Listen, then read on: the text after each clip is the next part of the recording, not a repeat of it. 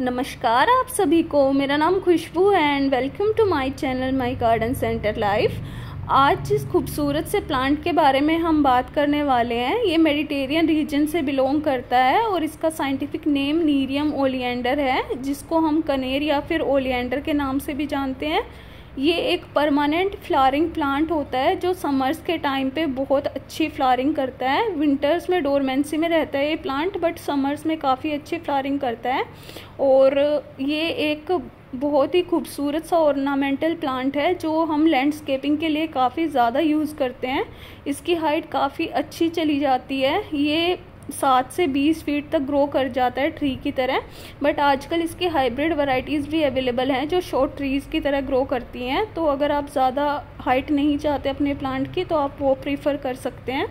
और ये एक पेट फ्रेंडली प्लांट नहीं है। आप तब इसके लीव्स को तोड़ते हैं तो एक वाइट कलर का सैप निकलता है, जो कि टॉक्सिक रहता है पेट्स के लिए। तो इसीलिए अपने पेट्स से थोड़ा इसको बचा कर रखें। तो ये बात हो गई इसके बारे में थोड़ी सी इन्फॉर्मेशन की। अब बात कर लेते हैं इसकी केयर की।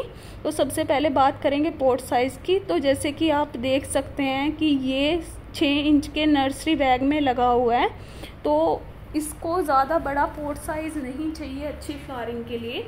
आप आठ से बारह इंच के पोट में लगाएँ इसको तो ये काफ़ी अच्छी फ्लारिंग करेगा। दूसरा बात कर लेते हैं इसके सनलाइट की तो इसको छः से सात घंटे की सनलाइट की रिक्वायरमेंट्स होती है। जितना ज़्यादा सनलाइट मिलेगी, उतना ज़्यादा अच्छे से फ्लारिंग करेगा ये प्लांट और उतनी ही हैवी फ्लारिंग करेगा तो इसको सनलाइट अच्छे से दें, ये इसकी मेन रिक्वायरमेंट है। अब बात कर लेते हैं वाटरिंग की तो ये एक ड्राउट टॉलरेंट प्लांट होता है।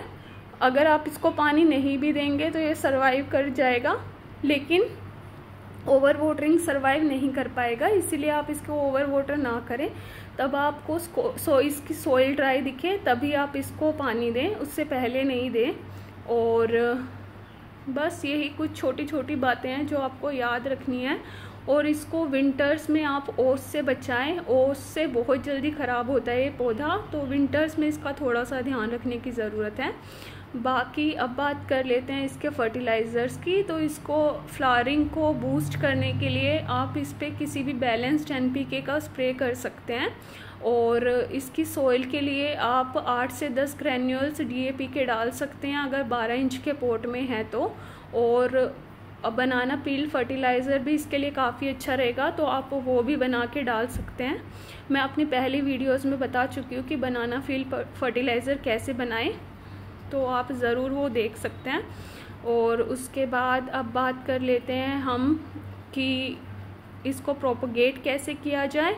तो प्रोपोगेशन इसका बहुत ईजी है। आप इसको कटिंग के थ्रू बहुत ईजिली प्रोपोगेट कर सकते हैं, या फिर तब फ्लावर्स पोलिनेट हो जाते हैं तो वो सीड पोर्ट्स डेवलप करते हैं। तो वो सीड मैच्योर होने के बाद आप उनसे भी इसको बहुत इजीली प्रोपोगेट कर सकते हैं।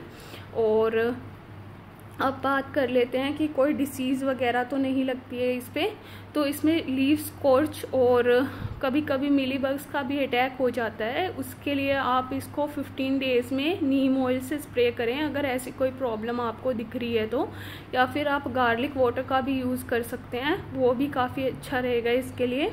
और इसको कोई स्पेशल सॉइल की ज़रूरत नहीं होती। आप नॉर्मल गार्डन सॉइल में twenty percent vermicompost add करके उसमें इसको लगाएँ तो ये काफ़ी अच्छा चलेगा। बस यही कुछ बातें थी जो आपको ध्यान रखने की ज़रूरत है और ये बहुत अच्छे से ग्रो करेगा आपके गार्डन में और काफ़ी अच्छे लंबे समय तक बना रहेगा। सो so, आज की वीडियो पसंद आई हो तो प्लीज़ लाइक करें शेयर करें एंड सब्सक्राइब करें और बाकी ऐसी वीडियोज़ के लिए इस चैनल को देखते रहें। Thanks for watching